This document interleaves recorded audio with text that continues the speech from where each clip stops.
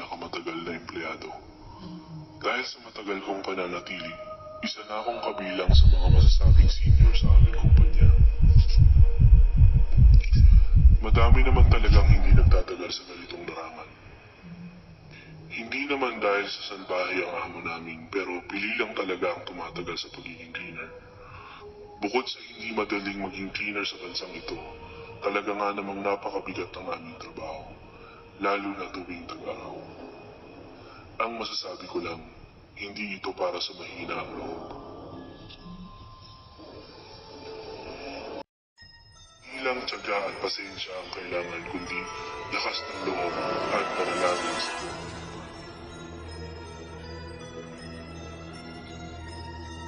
Maliwanag pa sa sikat ng araw ang alaala ko sa karanasang ito. Magde-Desyembre noon kaya makulimlim at mahamog ang panahon.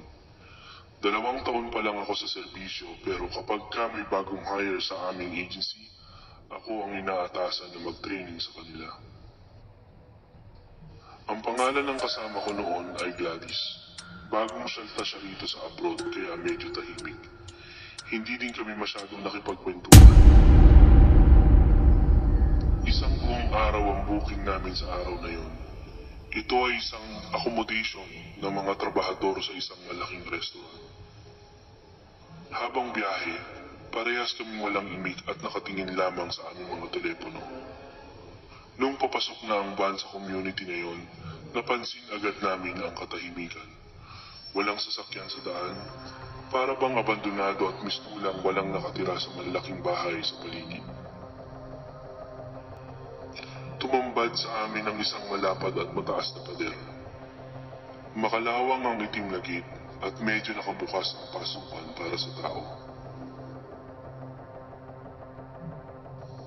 Dito na kami binaba ng aming driver at dali-dali siya umalis para sa ibang limit niya.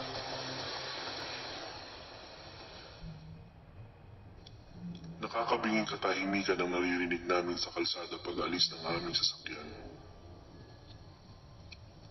Sabi ng aming agency, wala daw tao sa villa. Pwede daw kami magsimula agad sa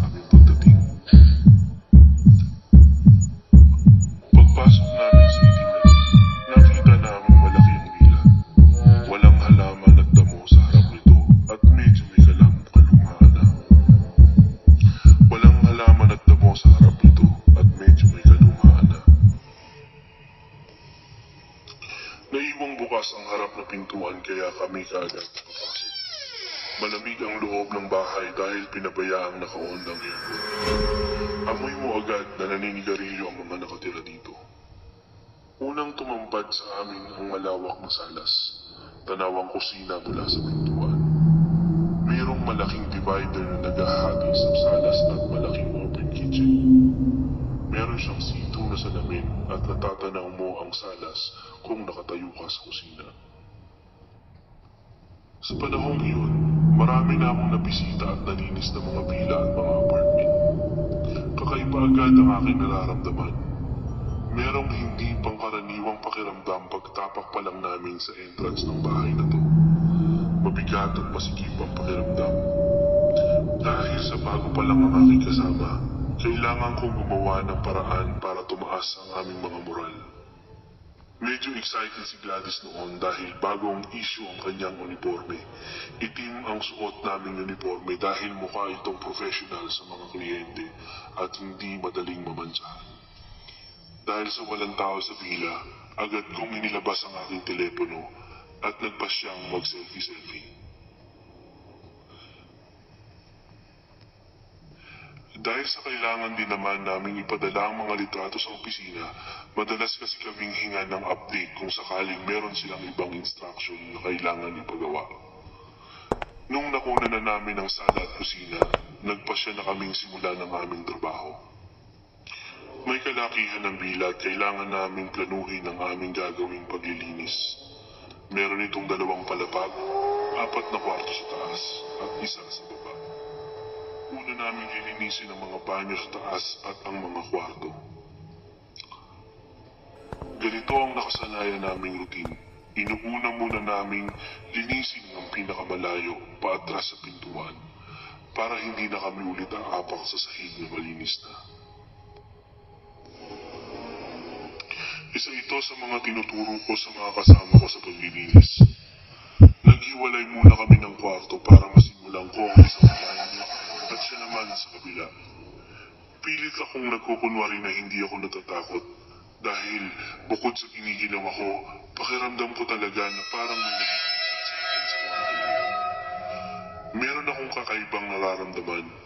Para bang may nakadagan sa iyo sa iyong pagkakahiga. Animong parang may pressure sa dibdib na nakakapagpasikip sa hininga. When it comes Nagulat na lang ako nang biglang lumapit sa akin si Gladys mula sa likod ko. Nakatingin sa akin si Gladys na parang naguguluhan. Tinanong niya sa akin kung hindi daw ako giniginaw. At ang sunod niyang katanungan, para akong binuhusan ng malamig na tubig. Napatingin ako sa kanya at tinanong niya sa akin kung ako daw ang dumaan sa pinto ng kwartong kanyang nililinis. Kibit balikat ako sumagot at sabi ko, hindi ah. Nagpasya na lang kami na huwag maghiwalay at pinaalala ko na lang na baka guni-guni lang namin yun. Sinasadya na lang namin na magpatugtog ng malukas mula sa aming malilepono para hindi kami makaramdam ng pressure at takot. Lumipas ang ilang oras, natapos din naming dalawa ang buong bahay. Tinawagan na namin ang aming driver para kami sunduin. Since wala naman tao sa bahay, pwede namin siyang tawagan na 30 minutes bago kami tuluyang matapos. Nasa baba na kami ng bila nung naalala kong naiwan ko ang aking telepono sa isa sa mga kwarto sa itaas. Dali-dali naman akong umakyat at iniwan ko si Gladys na kasama ng aming mga gamit sa paglilinis. Mula sa taas, narinig ko na biglang bumukas ang vacuum cleaner. Sa isip-isip ko, baka lang may nalimutan si Gladys na vacuuming. Pagbaba ko galing sa hagdan, nakita ko na umaandar ang vacuum cleaner mag-isa at hindi ito nakasaksak. Hindi naman ako nagtataka dahil akala ko ay may sira lang ang vacuum na nadala namin.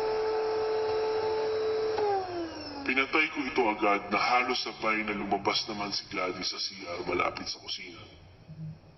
Agad niya akong tinanong, akala daw ba niya na tapos na kami maglinis? Bakit nagbabacuum pa rin ako? Napatingin ako kay Gladys na para akong litong-lito. Hindi na ako umimik at nagpasya na lang kami sa labas na lang kami maghintay. Hindi na mainit nung panahon na yon kaya pwede na kami maghintay sa bakuran. Lumabas kami ng bila at sinara namin ang mga pinto. Habang naghihintay kami sa bakuran ng bila, nagtingin kami ng mga litrato mula sa telepono. Mga litrato namin habang naglilinis. Nagtanong uli si Gladys kung talaga bang dalawa lang kami sa pila. Dahil pakiramdam niya, meron kaming kasama habang naglilinis.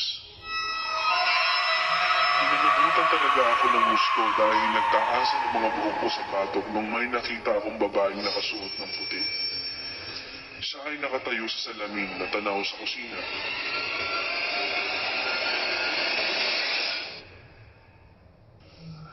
Nakayuko siya at pawang nakasuot ng uniformeng puti na parang pang nurse. Dahil itim ang aming uniforme, imposible sa amin ang reflection sa salamin ng mga divider. Sobrang takot na takot kami at tumakbo kami sa gate ng villa. Sakto naman na dumating ang aming sundo. Sunod ko.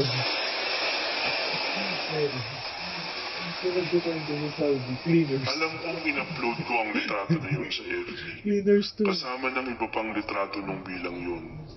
Pero hindi ko na siya matagpuan ulit. Iyon na rin ang una at huli kong araw na nakita si Gladys. Hindi na rin siya bumalik sa aming cleaning agency magmula noon. Ha ha ha ha ha!